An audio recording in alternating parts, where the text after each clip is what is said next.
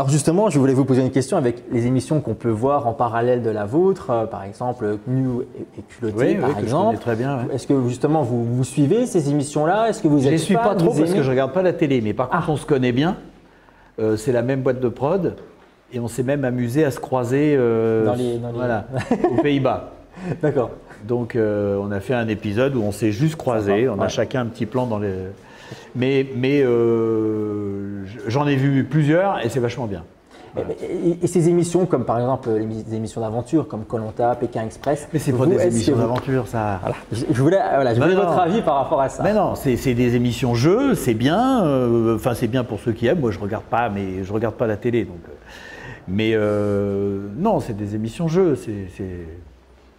C'est pas vraiment des émissions d'aventure, non. Pour vous, c'est pas la même chose quand les candidats de Pékin Express, par exemple, vont dans, euh, euh, taper aux portes et voilà, il y a une petite similitude de ce côté-là. Et qu'est-ce Oui, que y a une petite similitude. que vous Bah, avez déjà vu d'ailleurs? J'ai vu un tout petit peu, Oui. donc euh, je peux pas trop dire, mais euh, il y a une organisation derrière déjà. Il y a un caméraman qui est là avec eux. donc je ne mets pas de hiérarchie quand je dis ça, mais c'est quand même, euh, quand même moins l'aventure que quand tu es tout seul et que tu sais pas ce que tu vas faire.